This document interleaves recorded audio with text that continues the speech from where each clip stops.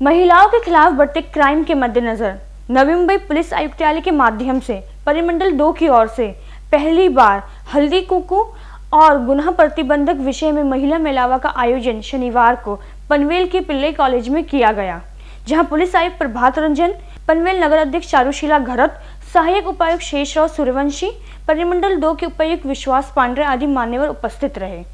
इस अवसर पर पुलिस आयुक्त प्रभात रंजन ने क्राइम के विषय में बताते हुए महिलाओं को सतर्क रहने का आवाहन किया। घरामध्ये जास्त वेळ महिलाच असतात. आणि त्यामुळे महिलांना प्रबोधन करणे महिलांचा संपर्क स्थापित करणे पोलिसांसाठी फार महत्त्वाचे आहे.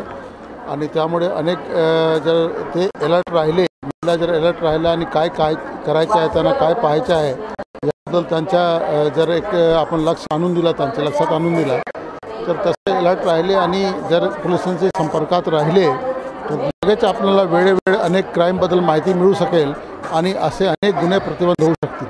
पनवेल नगर अध्यक्ष चारुशीला घरत ने इस मौके पर बढ़ती चोरी की घटनाओं को देखते हुए शहर में सीसीटीवी लगाए जाने की बात कही।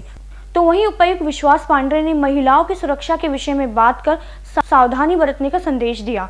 इस समारोह में खास तौर पर बच्चों पर ध्यान देके इन्हें अच्छे संस्कार देने का मत व्यक्त किया गया। क्योंकि अगर बड़े ही गलत काम करेंगे तो बच्चे भी गलत रास्ते पे चल पड़ेंगे।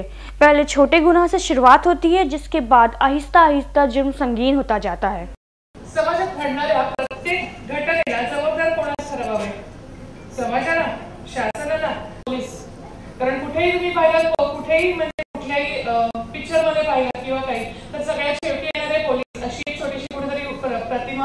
निर्माण